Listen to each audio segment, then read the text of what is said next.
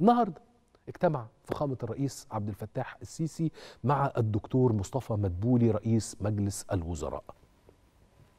الاجتماع تناول التطورات التنفيذية لعدد من المشروعات القومية للإنتاج الزراعي استصلاح الأراضي على مستوى الجمهورية بالكامل وخصوصا المشروع القومي للإنتاج الزراعي مستقبل مصر إلى جانب المشروعات اللي في منطقة توشكا واللي في منطقة سينا وفي محافظات بني سويف والمنيا والفيوم كذلك مشروع سنابل سونو بأسوان. زميلي العزيز أحمد أشرف الحقيقة فقال لي قال لي سونو ده الاسم القديم جدا الذي كان يطلق على أسوان زمان يعني. آه والله أفادني بهذه المعلومة بجد يعني.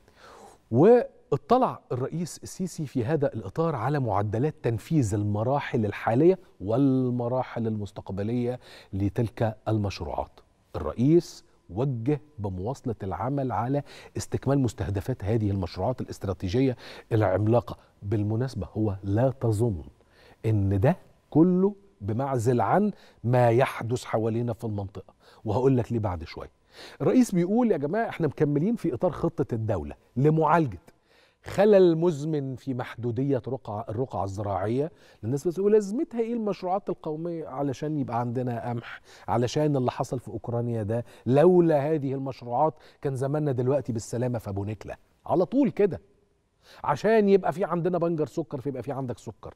علشان يبقى في عندك بطاطس. علشان يبقى في عندك خضار عشان يبقى في عندك حصلات كتير.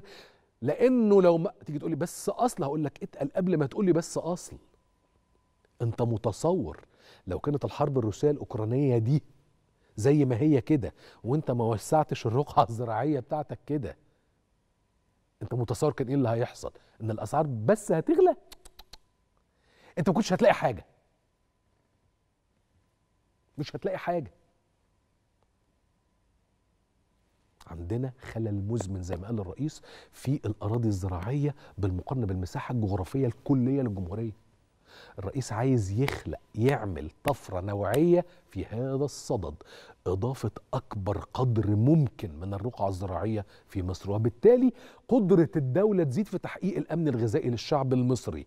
هل لا زال حد يناقش نفسه في صمت جوه عقله كان لازمة المشروعات القومية إيه؟ وبنوسع الرقعة الزراعية ليه؟ وبنعمل مصوامع ليه؟ وبنعمل محطات معالجة مية ليه؟ ومحطات تحلية ليه؟ وبنعمل عشان اللي حصل في أوكرانيا ده نبقى إحنا عاملين حسابه عشان اللي بيحصل في الحرب الدائرة الآن في المنطقة. يا رب تهدأ. بس افترض هل مفترض يا جماعة إن إحنا نبص تحت رجلينا ولا إن إحنا طول الوقت بنبقى باصين على سيناريوهات ماذا بعد؟ إدارة الدول ما بتمشيش يوم بيوم.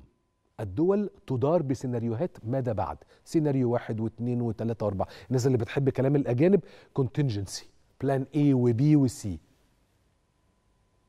طب ده اللي بيتعمل في مصر من سنة 2014